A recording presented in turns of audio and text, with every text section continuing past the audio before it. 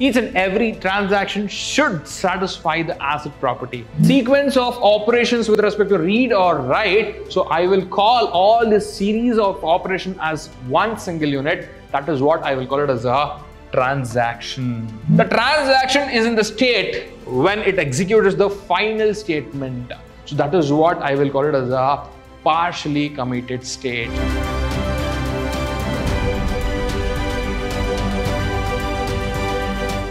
Hello everyone, I welcome all of you to the yet another interesting session on transactions. My dear students, you, you will be thinking, am I talking about the transaction with respect to the DBMS? Yes, exactly. I'm speaking about the transaction which happens in the database. Alright, so if you don't know anything about the transaction, I think you are in the right place to understand from the scratch till the end of the transaction. So guys, I welcome all of you to the beautiful session on transactions. So what do I have? In the session for all of you. Let's check that. So guys, basically I will be introducing you all to the concept of transaction. Along with that, I will also speak about the different states that we have in the transaction. So you all would have come across with the process states in the operating system, right? Even in the same way, I have the different states that with respect to the transaction. So yes, along with that, I will also discuss the ACID properties. Each and every transaction should satisfy the ACID property. So what exactly ACID properties is all about? I will be discussing that. It's going to be one of the important point or important topic which you should never forget with respect to the transaction. Along with that, two important things, uh, concurrency, execution and serializability. So I will be speaking about this at the end of the session. So without wasting much of your time, let me get into the session. So in this, I will be explaining the first topic that I have with respect to the transaction. What is the definition for transaction? You need to observe transaction is a sequence of read and write operations. You need to understand sequence in the sense one by one. So it can be a read operation or it can be a write operation, which happens one by one. That is what you need to call. You need to understand here. So find transaction is a sequence of read and write operations on what? On data what we have stored in the database. That's what you need to remember here. So find these sequence of operations with respect to read or write, so I will call all this series of operation as one single unit that is what I will call it as a transaction. That's what you need to remember here. So everything I will consider it as a one single unit. That's what you need to remember it as a transaction. So fine. What is that I need to remember with respect to the transaction? So here, a beautiful point to be remember, it should be either be done entirely or not at all. There is nothing called partially done. So nothing, you, you cannot consider that as a you know transaction at all. Say for example, in one transaction, if you want to say that it is a transaction, you should finish it completely. Only then I will be saying that as a completed transaction. Otherwise, it is not at all considered. That is what you need to remember. So that is the second point. And moving forward, if it succeeds, the effect of the write operation persists. That is commit. If it fails, no effects of the write operation is persist. That's what you need to remember. If you are successful in that particular transaction, the effect will be saved. Commit in the sense saved. Otherwise, nothing will be saved. Sir, I have written you know a lot of things. Only the last part is pending. Can I say that only the last part is not there till whatever I have done it is there? No, it cannot be like that. If you are completing, it should be everything. It should be everything. Otherwise, nothing will be there. That is what you need to remember with respect to the transaction. So fine. So you got the basic idea about the transaction. Now let's understand the different states that I have with respect to the transaction. What exactly that I have? How many different states that I have? So guys, basically I have five different states in transaction and this is going to be very, very important with respect to your exam point of view. You can expect this question in your question paper. All right. So what is the first state that we have? Let me explain that with a, a diagram. So guys, the first state that you have is a active state. So this is the beginning, initial state of the transaction. That's what you need to remember. All right. The active state in the sense the initial state of the transaction stays in the state where while it is executing. So that is what I will call it as a active transaction state. So fine. What are the next uh, state that we have? This is the partially committed. Partially committed in the sense I have almost executed all the statements that I have in the transaction. Observe clearly. The transaction is in the state when it executes the final statement. So that is what I will call it as a partially committed state. So I have executed the final state, final statement. So that is what I will call it as a partially committed state. All right, so observe here.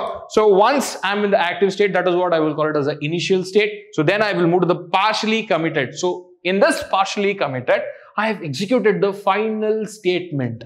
So that state I will call it as a partially committed. Committed in the sense what?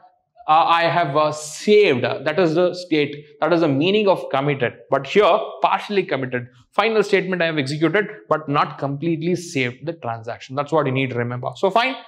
Failed transaction. What is the meaning of it? Failed state. So observe here. A transaction is in the state once the normal execution of the transaction cannot proceed. So that is what I will call it as a failed state. See, observe here, I'm in the initial state, okay? From the initial state, that is active state, I will move to the failed state. Due to some input-output operations which is required, so which is not complete. So I will move the transaction to the failed state. So when I when the transaction comes to the failed state, observe I cannot complete the transaction normally. So that is what you need to remember. So fine. Aborted. Aborted in the sense what? A transaction is said to be aborted when the transaction has rolled back. Rolled back in the sense, say for example, now I'm working on some transaction. Half of the things I have done. Okay. But unfortunately, I will not be able to complete the transaction. So now that transaction will be treated as failed transaction. Once it is failed, I will move to the next process that is aborted. Aborted in the sense what?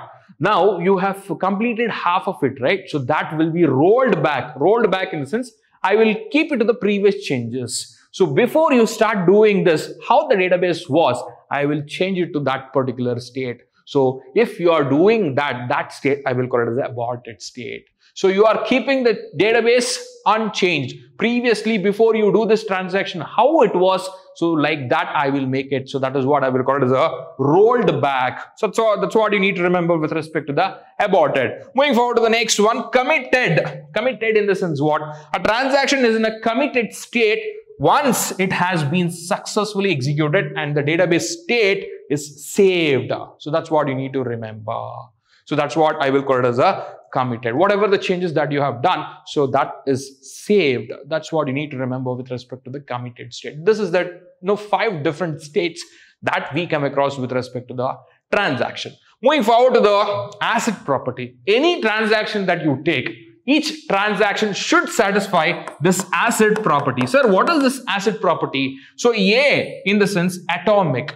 Atomic in the sense what? If you consider that transaction, I should not be able to divide that into sub-transaction. That should be the last level. So that should be the last level of the transaction. That is what I will call as atomic. Atomic in the sense what? That is a minute one. I cannot further divide that. So if I consider that transaction, I cannot divide that transaction into further any other transaction. That should be the point with respect to the atomic. So fine. Any transaction should also satisfy the atomic property. Moving forward, consistent. What is the meaning of consistent? Observe the data on all the system reflects on the same state. That is what I will call as a consistent. So listen to me carefully. Consistent in the sense what? The data on all the systems at that particular point of time should reflect same. Here, imagine I will withdraw 5000 in the ATM. So here it is showing minus 5000 balance. And there in the system, if I check my accounts, so there it is not showing 5000 minus 5000 balance. That should not happen. That is what you need to remember here. Isolated. Isolated in the sense what? I should be able to execute multiple transactions without any interference. That is what I will be calling it as a isolated. That is what I will be calling it as a isolated. That is what you need to remember. And when it comes to the durable, durable in the sense what? Even if there is any failure, whatever the changes that I have done to the transaction or to the data, that should be there so that data, saved data should be there as it is even if I come across with any failures. So that is what I will call it as a durable. All these properties I should have in the transaction. That is what I will call it as a ACID property. So this is what you need to remember. You can expect this for two marks. This is going to be one of the important topic with respect to the transactions. What's the next topic that I have? Concurrency execution. Concurrency in the sense you are executing at the same time parallelly. That's what I will call it as a concurrent execution. So guys, what is that you will remember when it comes to the concept of concurrent execution? My dear students, the concept of concurrent execution will save a lot of CPU time, that is processor time, and also disk management will happen properly. That's what you need to remember when it comes to the concurrent execution. At the same time, parallelly, we are executing more than one task. That's what we call it as a concurrent execution. But when it comes to the serializability, what happens uh, when we are doing the concurrency? Uh, that might lead to some of the problems to the transaction. So just to avoid that, we have a concept called serializability. What is the meaning of serializability? See, in the name itself, it says that serial, one by one, you are executing the transaction uh, one by one sequentially that is what we call it as the serializability so how exactly it is happening it performs the operation like this say for example uh, there is a concept called lock what is the meaning of lock? You are locking that particular resource. Say, for example, the first transaction is happening, the rest of the transaction or rest of the process will be in waiting until the first one is completing its transaction. So once the first one is done, the second one will start its execution. One by one, you are executing the transaction. That is what I will call it as a serializability. This is what you need to re remember with respect to the serializability. So with this, I have come to an end of the concept called transaction. So happy learning. Thank you. Bye bye. Wait for the next session, which is going to be very, very interesting in the database. Thank you.